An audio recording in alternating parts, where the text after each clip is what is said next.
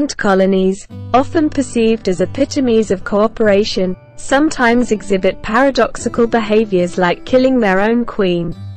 This act of regicide is a complex, adaptive behavior influenced by ecological, social, and genetic factors. To understand why ants kill their queen, it's essential to delve into ant colony dynamics, the queen's role, and the evolutionary strategies involved. The queen is the primary reproductive individual, responsible for laying eggs that ensure the colony's growth and survival.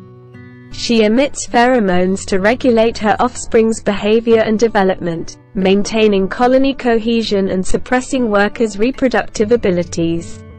However, when a queen's reproductive capabilities decline, workers may eliminate her to replace her with a more fecund individual. Genetic conflicts can also arise in colonies where the queen mates with multiple males, leading workers to favor raising their sisters over half-sisters. This kin selection can prompt workers to kill the queen to increase their own genetic representation. In colonies with multiple queens, competition for dominance can lead workers to kill excess queens, ensuring that resources are directed towards fewer, more productive queens. Environmental stress and resource scarcity can also trigger queen killing, as reducing the reproductive burden helps the colony conserve resources. Additionally, parasitism and disease can weaken the queen, prompting workers to eliminate her to protect the colony. Queen regicide underscores the adaptive nature of ant colonies, balancing cooperation and conflict to maintain the colony's overall fitness. By eliminating a non-productive queen, the colony can redirect efforts towards raising a new, more productive queen. This behavior maintains the colony's size and genetic diversity, crucial for survival and competitiveness. Case studies illustrate these behaviors. Argentine ants regulate queen numbers under stress. Honey ants kill excess queens during colony establishment and red imported fire ants eliminate queens infected with pathogens.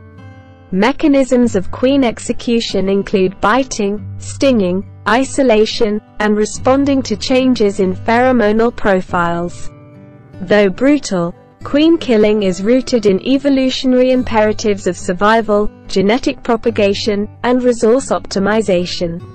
Ant colonies, through millions of years of evolution, have developed behaviors to adapt to changing conditions.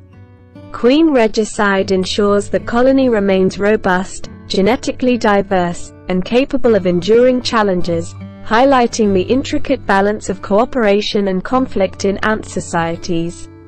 Through this lens, Queen killing emerges as a testament to the adaptive strategies that have made ants one of the most successful groups of organisms on the planet. The killing of a queen by her own colony might seem brutal, but it is a behavior rooted in the evolutionary imperatives of survival, genetic propagation, and resource optimization. Ant colonies, through millions of years of evolution, have developed intricate social structures and behaviors that enable them to adapt to changing environmental conditions and internal dynamics.